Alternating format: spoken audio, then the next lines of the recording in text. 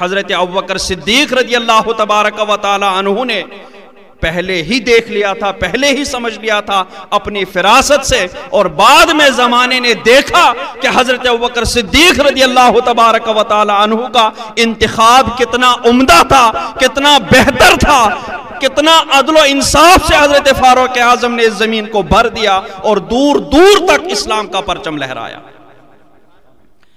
इन्हीं हज़रत उमर के बारे में आला हज़रत फरमाते हैं कि वो उमर जिसके आदा पेशेदा सकर, उस खुदा दोस्त हज़रत पे लाखों सलाम फारिग हक बातिल इमामुल हुदा। तेग मसलूल शिद्दत पे लाखों सलाम। तर्जुमान नबी, हम जबान नबी। जान शान अदालत पे लाखों सलाम। हज़रत उमर रदी अल्लाह तबारक व का नाम नामी इसमें ग्रामी उमर था। मगर जब आपके इस्लाम लाने का वक्त आया और आप सरकार दो आलम सल्लल्लाहु अलैहि वसल्लम की बारगाह में पहुँच गए, हाजिर हो गए, और बारगाह में हाजिर होकर के दारे अरकम में हाजिर होकर के जब हज़रत उमर रज़ी अल्लाह तबारक इस्लाम लाने से मुशर्रफ हुए उसके बाद अर्ज़ गुजार हुए, या रसूल अल्लाह सल्लल्लाहु अलैहि वसल्लम, क्या हम हक पर नहीं हैं? सरकार ने फरमाया, बिल्कुल हम हक पर हैं। तो फरमा अर्ज़ की, या रसूल अल्लाह सल्लल्लाहु अलैहि वसल्लम, जब हम हक पर हैं तो इतना छुप छुप के हम नमाज़ क्यों पढ़ रहे हैं? उसके बाद हज़रत उमर अल्लाह तबारक ने सारे मुसलमानों को दरगाह दार से लेकर सरकार दो आलम सल्लल्लाहु अलैहि वसल्लम की सरपरस्ती में खाने काबा ले गए। बैतुल्लाह शरीफ पहुँचने के बाद हज़रत उमर ने पहली बार अलल ऐलान बाजमात नमाज़ सरकार दो आलम की इमामत में करवा दी। और उस दिन हक व बातिल का अलल ऐलान इम्तियाज़ हो गया। उस दिन तक छुप छुप के नमाज़ पढ़ते थे, लेकिन फारूक आज़म से जो दुआ सरकार ने फरमाई थी, इस्लाम को वो गलबा मिला कि उसी दिन आपको बातिल के दरमियान फ़र्क कर दिया। वो उमर, जब हज़रत सिद्दीक अकबर रज़ी अल्लाह तबारक वाली ने फिर बार खिलाफत उन पर डाल दिया। उसके बाद हज़रत अबू बकर के फरमान के मुताबिक, उनके अंदर जितनी सख्ती थी, उनके अंदर जितनी तेज मिजाजी थी, वो सब नरमी में बदल गई। वरना जलाल तो इतना था कि शैतान को भी हिम्मत नहीं होती थी उस रास्ते से गुजरने की, जिस रास्ते से हज़रत उमर का गुजर हुआ करता था। ऐसा अदलो इंसाफ किया। कि एक मरतबा अपने गुलाम असलम के साथ जा रहे थे अपनी रियाया की खबरगिरी करने।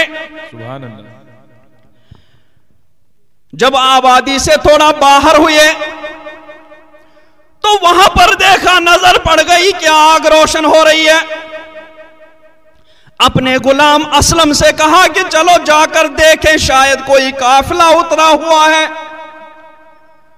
और जाकर नज़दीक पहुँच गए तो वहाँ देख रहे हैं कि एक बुढ़िया, एक खातून आग रोशन किए हुए है, उस पर हांडी रखी हुई है, उसमें से भाप उठ रहा है। और करीब ही दो चार बच्चे वो रो रो रहे हैं बिलक रहे हैं।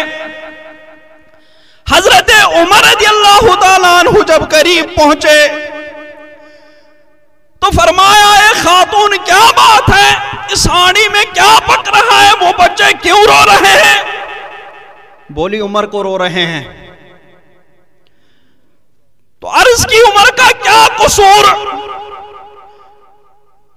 बोले, बच्चे भूख से बिलक रहे हैं, भूख से रो रहे हैं।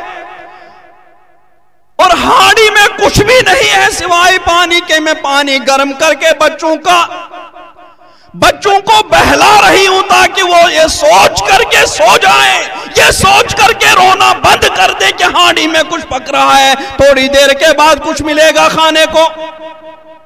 लेकिन हांडी में कुछ भी नहीं है। हज़रत उमर रज़ी अल्लाह फरमाते हैं, उमर बेचारे को क्या पता कि तुम्हारे घर पर खाने को कुछ नहीं है। तो वो खातून कहती है फिर उनको किसने कहा खिलाफत का बोझ अपने सर पर उठाने को, जब उन्हें अपने रियाया की खबर ही नहीं है कि कौन कैसे रह रहा है? उसके बाद हज़रत उमर खुद रो पड़े। अपने गुलाम असलम से कहा कि चलो वापस। उस स्टोर में गए, जिस स्टोर में गेहूँ वगैरह जमा रहा करता था तो असलम गुलाम से कहा, ए मेरे गुलाम, ये बोरा उठा करके मेरे कंधों पर रख दो। गुलाम कह रहा है अमीरुल मोमिनीन, मैं हाजिर हूँ, मेरे कंधे पर रख करके मैं ले चलू। फरमाया, असलम, क्या कयामत के दिन भी मेरा बोझ तुम अपने कंधों पर उठाओगे? उसके बाद कहा, कि लाओ और अमीरुल मोमिनीन, जिससे वक्त के सुपर पावर, कैसर, किसरा की भी हवा निकल जाती थी। वो अमीरुल मोमिन खातून के लिए गेहूँ का बोरा अपने कंधों पर उठाए हुए हैं और हाथ में कुछ तेल, कुछ रोगन लेकर के उस खातून की तरफ़ जा रहे हैं। जब वहाँ करीब पहुँचे, बोरा रख दिया, उसके बाद खुद ही उस आटे को गूंदा, उससे रोटियाँ बनाई और खातून से कहा कि तुम मेरी थोड़ी मदद करो। उस खातून ने मदद करी, रोटियाँ तैयार हुई, रोगन तैयार हो गया, बच्चों को उठाया और उन्हें वो रोटियाँ अपने हाथों से खिलाई, उसके बाद सुलाया। हज़रत उमर रज़ी अल्लाह तबारक ने उन बच्चों को रोटियाँ खिलाई तो वो खातून कहने लगी कि आपको तो खलीफा आपको होना चाहिए था, अमीरुल मोमिनीन तो आपको होना चाहिए था।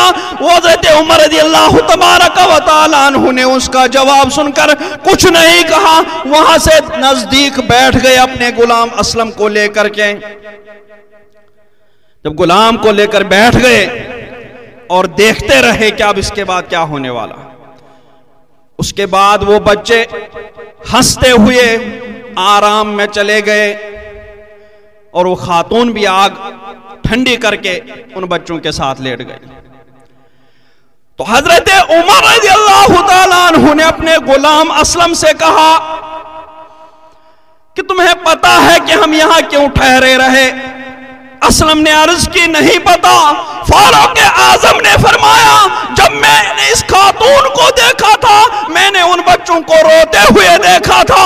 मैं नहीं चाह रहा था कि उनको मैं ऐसे ही छोड़ दूँ बल्कि मैंने चाहा कि जिस तरीके से मैंने उनको रोते हुए देखा उसी तरीके से मैं उनको हँसते हुए देख करके यहाँ से रवाना हो जाऊँ। सुभान अल्लाह सुभान अल्लाह ये था इस्लाम का अदलो इंसाफ। ये थी इस्लामी हुकूमत जिसने दुनिया को अदलो इंसाफ से भर दिया था।